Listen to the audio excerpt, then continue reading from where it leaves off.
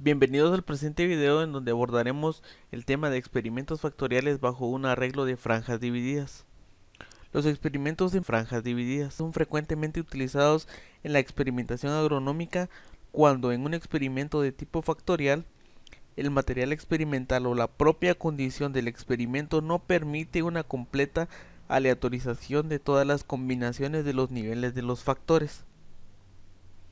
Esta es una modificación de los experimentos en parcelas divididas.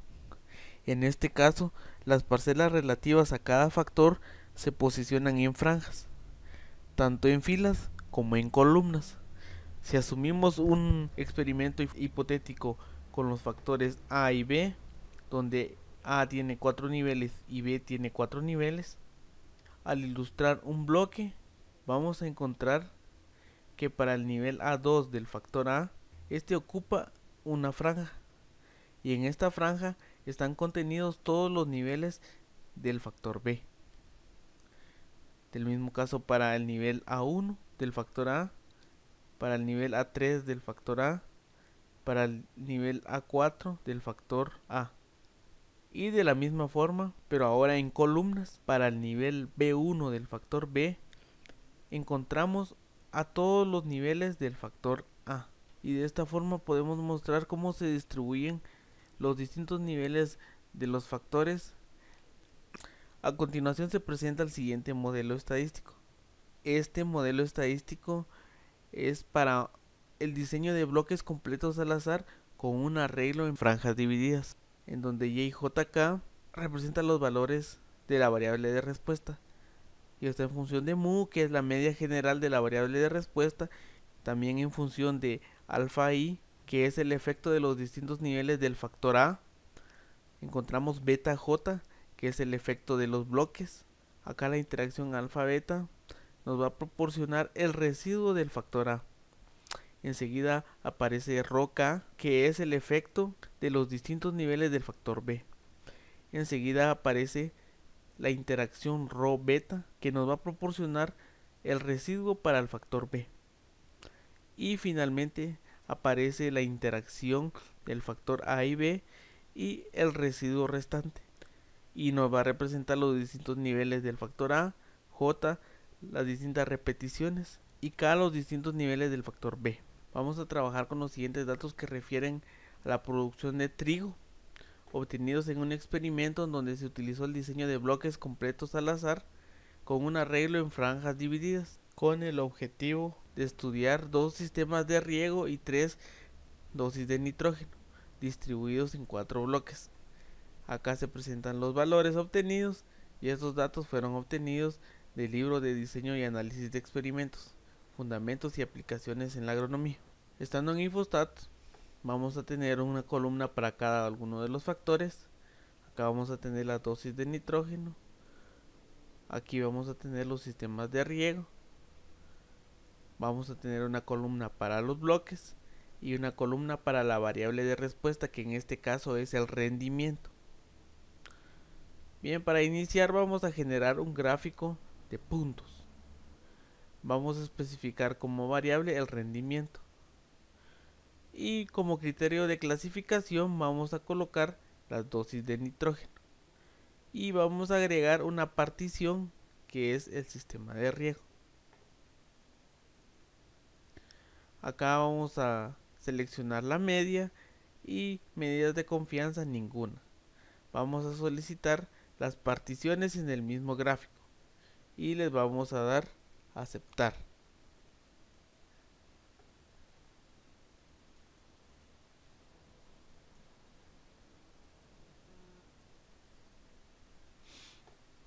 Acá vamos a modificar las etiquetas debido a que acá se va a mostrar para riego 1 y acá riego 2 acá en el eje X está nombrada correctamente en las etiquetas. En el eje Y se va a expresar los rendimientos.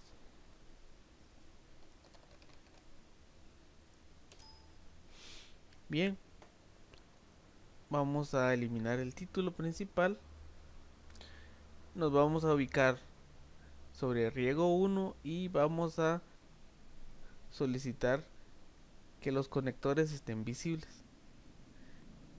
De la misma forma para riego 2,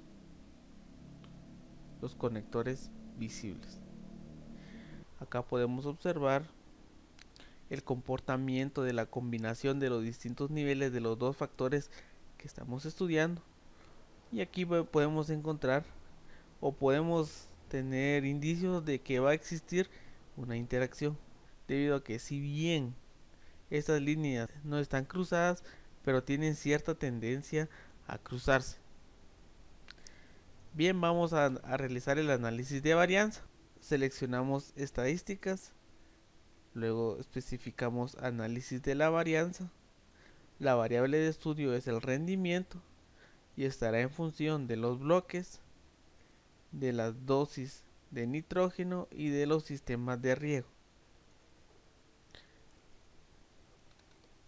Acá debemos de especificar los términos del, del modelo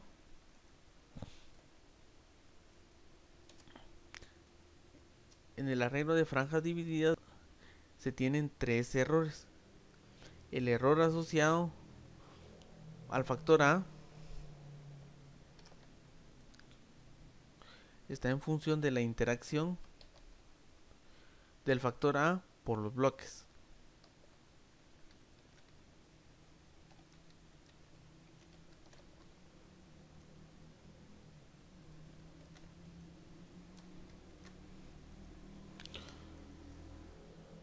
El segundo error es el que está asociado al factor B. Y este se obtiene de la interacción del factor B por bloque.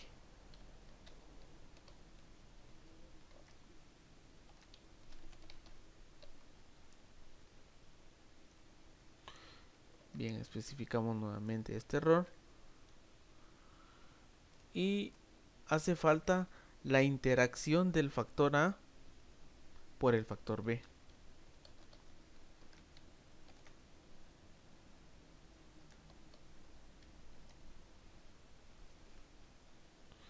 Vamos a guardar los residuos, los predichos, los residuos estudentizados y los valores absolutos de los residuos. Y vamos a darle aceptar. En un momento discutiremos los resultados del análisis de varianza. Antes de ello vamos a evaluar los supuestos del análisis de varianza. En nuestra base de datos se han creado cuatro nuevas variables, que es el residuo del rendimiento, los residuos estudentizados, los valores absolutos de los residuos y los valores predichos. Vamos a estudiar el supuesto de la normalidad. Para ello vamos a generar un gráfico llamado cucuplot. Acá le vamos a dar limpiar debido a que nuestra variable es el residuo del rendimiento. Y le vamos a dar aceptar. Especificamos la distribución normal y aceptar.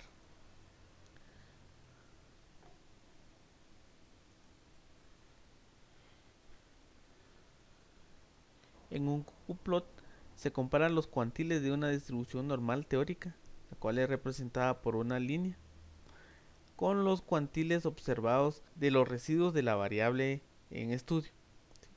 Entonces estos cuantiles observados son representados por los puntos. Como podemos apreciar, los puntos no están muy alejados de la línea central que representa una distribución normal teórica. Por lo tanto, vamos a encontrar de que nuestros residuos siguen esta distribución normal. Pero lo vamos a confirmar generando la prueba de Shapiro-Wilk. Para ello nos dirigimos a estadísticas, seleccionamos inferencia basada en una muestra y seleccionamos prueba de normalidad utilizando el criterio de Shapiro-Wilk modificado. Acá le vamos a limpiar y nuevamente nuestra variable es el residuo del rendimiento.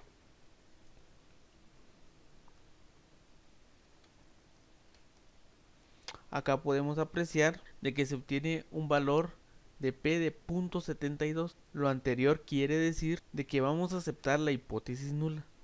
Y la hipótesis nula para esta prueba plantea que los residuos siguen la distribución normal. Y con esto se cumple el primer supuesto, que es el de la normalidad. A continuación trabajaremos el supuesto de homogeneidad de varianzas. Para ello vamos a generar un diagrama de dispersión. En este diagrama de dispersión, en el eje X, vamos a especificar los valores predichos para rendimiento y en el eje Y los residuos estudiantizados para rendimiento.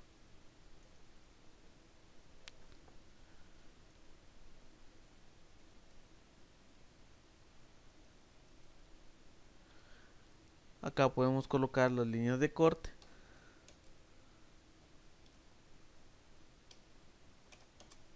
Puede apreciar que los puntos están dispersos y no se observa ninguna tendencia, por lo tanto no tenemos indicios de que se esté incumpliendo el supuesto de homogeneidad de varianzas. Pero vamos a generar una prueba que confirma esta suposición. Vamos a trabajar con las dos primeras columnas. La primera columna está el factor A, en la segunda columna el factor B nos vamos a dirigir a datos vamos a seleccionar cruzar variables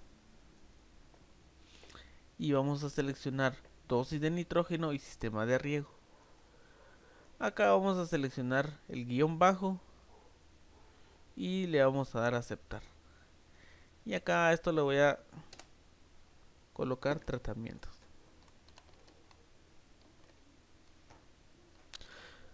Y como pueden apreciar estos representan las distintas combinaciones entre los dos factores de estudio. Lo que vamos a generar es la prueba de Leven. Esta prueba de Leven es un análisis de varianza para comprobar que los residuos sean homogéneos. Vamos a hacer clic en estadísticas, solicitamos análisis de la varianza. Como variable de clasificación vamos a utilizar la nueva columna que creamos, la nueva variable y como variable dependiente vamos a utilizar los residuos absolutos de rendimiento y le damos aceptar. Y acá aceptar nuevamente. Y acá tenemos un p valor de 0.77 lo cual indica de que vamos a aceptar la hipótesis nula. Y en este caso la hipótesis nula nos plantea de que los residuos son homogéneos. Para poder decir lo contrario, este p valor tendría que ser más pequeño el nivel de significancia, que podría ser 0.05 si utilizamos un nivel de significancia de 5%. Y hemos evaluado los supuestos del análisis de varianza. Nos vamos a concentrar en los resultados del análisis de varianza. Como podemos recordar, acá ya tenemos estos datos. Acá podemos apreciar el efecto del factor A. La dosis de nitrógeno presenta una F de 60.13 y un P valor de 0.001, lo cual indica que por lo menos uno de los niveles de las dosis de nitrógeno nos va a representar un incremento significativo en la producción de trigo. Debemos de notar de que el error para el factor A, que es dosis de nitrógeno, está en función de la interacción de dosis de nitrógeno por bloque y acá está la contribución en el modelo de este error enseguida aparece el factor B para el factor B tiene como error la interacción del sistema de riego por bloque el factor B presenta una F calculada de 52.18 y un P valor de 0.055 el cual es menor al nivel de significancia de 0.05 con lo cual vamos a concluir de que un sistema de riego nos va a producir un incremento significativo en el rendimiento del cultivo. Finalmente vamos a analizar la contribución de la interacción dosis de nitrógeno con sistema de riego. Acá observamos que esta interacción presenta un valor de F calculado de 33.12 y un P valor de 0.006 Nuevamente este valor de P es inferior al nivel de significancia de 0.05. Por lo tanto vamos a concluir de que por lo menos una de las interacciones entre los distintos niveles de los factores A y B, que es dosis de nitrógeno y sistema de riego, nos va a producir un incremento significativo en el rendimiento del cultivo. Por lo tanto, debemos de realizar una prueba de postandeo. Para ello vamos a minimizar estos resultados y vamos a volver a correr la prueba únicamente que ahora vamos a especificar una prueba de comparación múltiple de medios nos vamos a dirigir a estadísticas análisis de la varianza acá le vamos a dar limpiar. Y nuevamente vamos a colocar como variable el rendimiento. Y este está en función de los bloques de la dosis de nitrógeno y de los sistemas de riego. Le vamos a dar a aceptar. Aquí especificamos nuevamente los términos del modelo.